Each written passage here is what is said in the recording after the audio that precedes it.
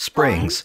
These bouncy boys exist to propel players to even further frontiers. You're likely here because you want to make a spring for your game, either the art, the coding, or both. In this video, I'll show you how to make a spring from start to finish using Blender. Blender has tools such as the screw modifier that'll make it much easier to animate it as well. If you stick around, I'll also show you how to program the spring Godot. Without further ado, let's jump right in. First, we'll start with modeling the base of the spring. With a new Blender scene, remove all the existing objects by selecting them with A and press X to delete them. Use Shift A to create a cylinder in the middle of the scene. Right click the cylinder and select Shade Smooth to smooth out the jagged edges. Press Tab to go into edit mode. Press numpad 1 to go into front orthographic view. Orthographic view is a special type of view that projects the vertices onto a 2D plane. Basically, it'll help us visualize the cylinder more easily while we model it. Select the X-ray tool at the top right corner and select all the vertices at the bottom of the cylinder. Move them until they're about the right height of the origin line. If you hold control, allow you to snap to the grid while you move them. Now select the vertices at the top and move them down to about here. Once that's done, use the mouse wheel to go back into perspective view. With the top vertices still selected, press E to extrude and S to scale.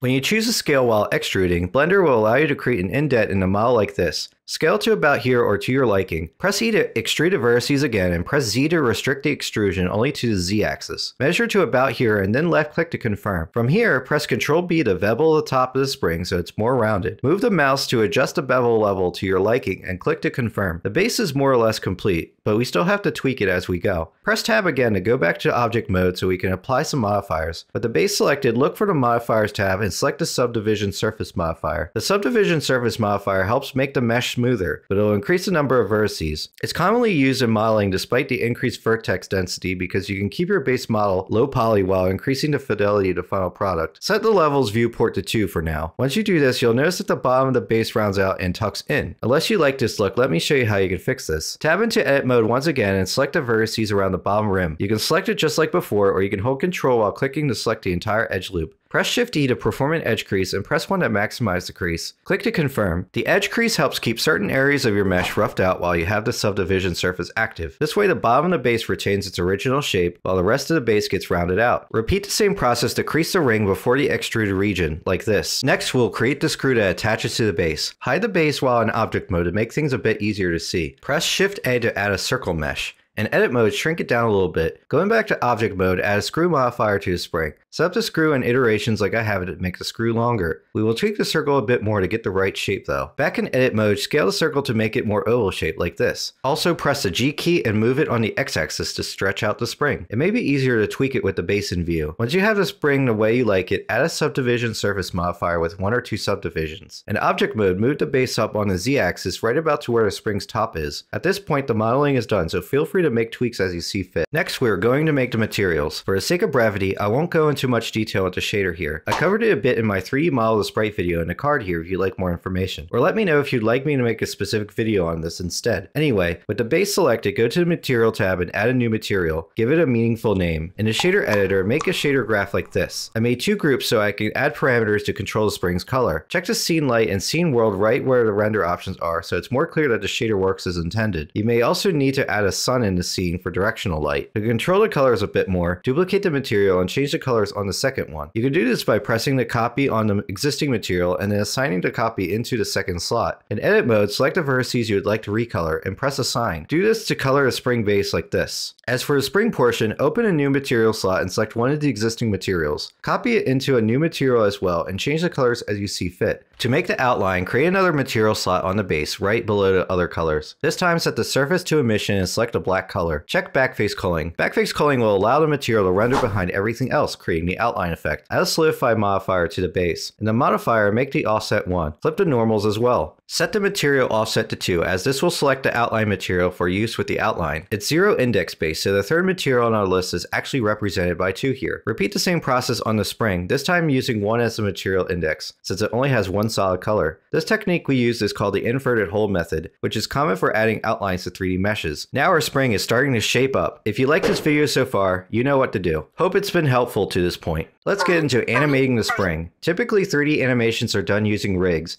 However, for a spring like this, I think that's overkill. We can do all of our animation in object mode just by keyframing the location, rotation, and scale properties, as well as the properties in the screw modifier. In addition, a spring will likely not have a lot of animations associated with it, so there's no need for us to make something too involved. Anyway, let's start by making the spring's rest pose by extending the screw a little bit. In addition, set up auto keyframing by pressing this button here. Also set the number of frames of your animation to something a bit lower, like 30. It's easy enough to adjust the length of the animation once we're done. With the base selected, press the I key to bring up the keyframe menu and select location, rotation, and scale to make those keyframes. Repeat this for the screw. In addition, press the circle button next to the screw property in the screw modifier to keyframe that on frame 1. To animate the down pose, start by moving the playhead to frame 5. Adjust the screw property to a lower value so that the screw squishes. To add a bit more of a cartoonish effect to the animation, I also recommend scaling out the screw. Press the S key to scale and hold shift and press Z to scale on everything but the Z axis. You'll end up with something like this. Move the base into place as well. Now let's keyframe the up pose. We will do the opposite we did for the down pose, so increase the screw parameter a bit to make the screw extend.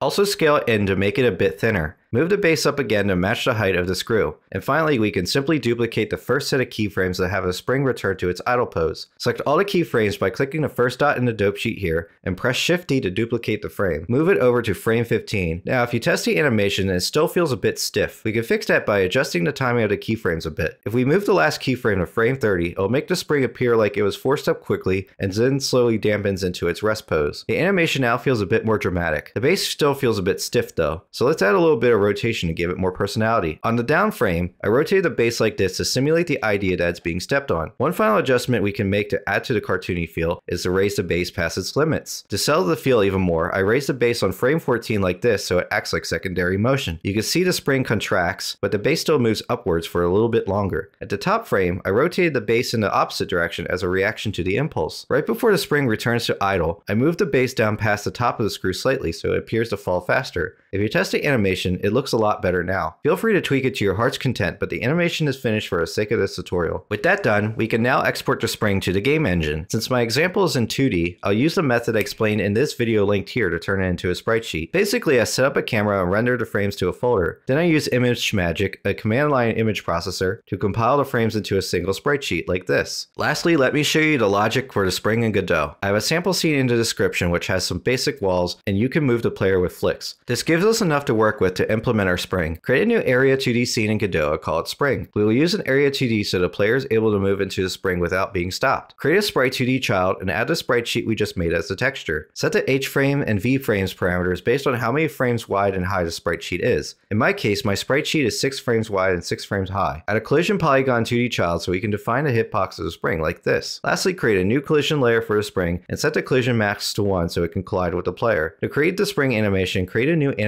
player child node. Create a new animation called idle, which will just be a still frame for the spring when it's inactive. Add a single keyframe for the sprite's frame property, which will be the first frame of the animation. Set the length of the animation as low as you can as it's meant to be static. To add an animation for when the spring is hit, duplicate the idle animation and adjust the length of the new animation. Duplicate the frame keyframe to the end of the animation and set the value to whatever the last frame in your spring animation would be. Test the animation with the D key and tweak the duration as you see fit. Now let's add some code. Create a script for the spring scene. Define an export variable spring power that allows you to control the strength of the spring launch on a spring by spring basis. You can instead choose to make this a constant, but it may be neat to have some springs that spring harder. It all depends on what you feel is best. Click on the Area 2D node in the scene outline and in the node tab, double click on the body entered signal to add a signal to your script. Name it something like on body entered. In the script itself, add a line of code inside the new function to check to see if the body node is of the player class. Don't worry about the error. We will add the player class name to the character script once we're done here. If the condition is true, then we can set the player's Y velocity and trigger the spring animation. However, setting the player's velocity directly in the spring script is not desirable in the event that the player wants to control other aspects of itself later on. For now, we will assume it has a method called spring with two parameters, the power and the direction, and we will make this method in the player script momentarily. Add this code here to launch the player with the correct power in the direction the spring is facing, plus 90 degrees, or pi over 2 in radians. Since 0 degrees starts to the right in Godot, and our spring is facing upwards, we need the 90 degree offset. This also gives us the flexibility to rotate the springs to launch the player in different directions. Now we can open the character script. Add a class name at the top of the script to resolve the error from earlier. At the bottom of the script, add a spring function like this. Add this logic to apply a new velocity to the player based on the angle supplied. We will use the trigonomic functions cosine and sine to take the x and y parts of the velocity based on the angle. If you're not familiar, these functions are used to solve for sides of a right triangle. When given the angle and the hypotenuse, which is our launch power in this case, we can use sine to get the height of the triangle, which corresponds to the y portion of velocity, and cosine to get the width of the triangle, which is the x portion. We will have to negate both sine and cosine so the player gets launched in the correct direction. Finally, instance as many springs as you like in your scene and test your game. That's all there is to it. You have now made both the art and the logic for a spring in your game. Hopefully you also gained some new knowledge and tools to make stuff from scratch in your own projects. Thank you for watching and have a great day.